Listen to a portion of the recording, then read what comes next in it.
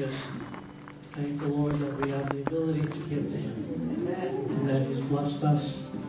And that we just Him back a small portion of what He's given us. Amen. And that we're giving to Him, not giving to anyone else. So I just ask you to come on forward and to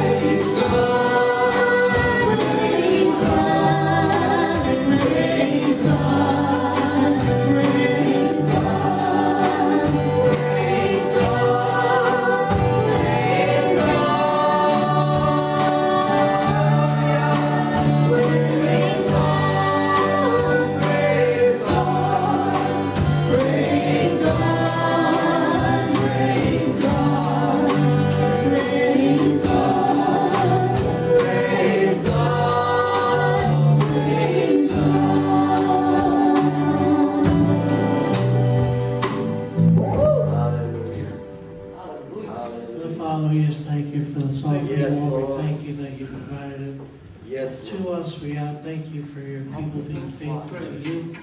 We ask that you bless them 30, 60, 100 fold, Lord God, and help us use these funds to further your kingdom in Jesus' name. Amen.